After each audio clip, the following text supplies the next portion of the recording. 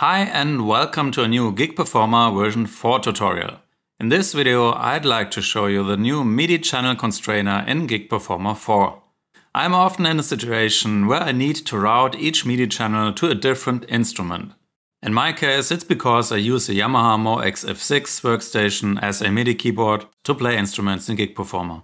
And on the MOXF, it's really easy to select a specific MIDI channel just by pressing one of the part select buttons. So I'd like to have all sounds I need in a particular song on these buttons.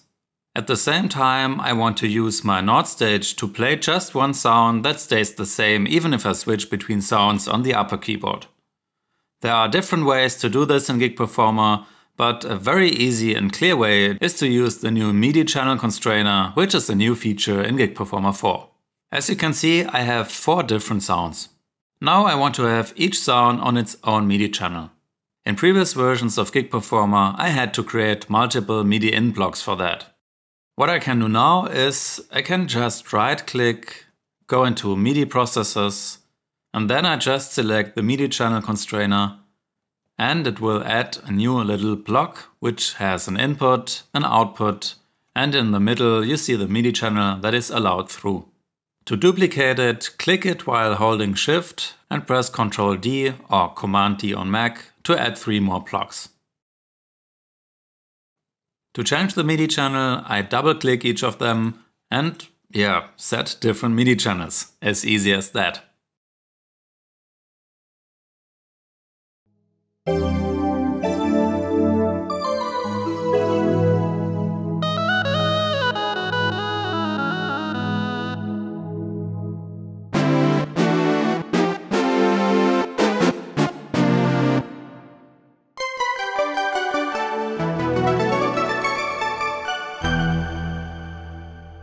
One more thing you can do with the MIDI channel constrainer, which is really useful.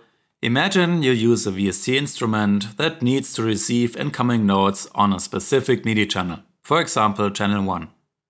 If you play them on channel 2, because your MIDI keyboard is set to channel 2, then you won't hear anything, which of course leads to confusion if that happens during the gig. So it might be a good idea to make sure the instrument always gets their notes on the right MIDI channel. The MIDI constrainer can help here. Set the input channel to Omni, which means that it allows every MIDI channel, and set output channel to the channel that you want your instrument to receive, in this case channel 1. The little caption here tells us that all channels are now routed to channel 1, so no matter which MIDI channel I select on my keyboard, it will always play the right sound. So to make sure my rack space works with every instrument, I change all my other blocks too, so all instruments receive their notes and controller data on channel 1. Thanks for watching and make sure to try out the new MIDI channel constrainer in Gig Performer 4.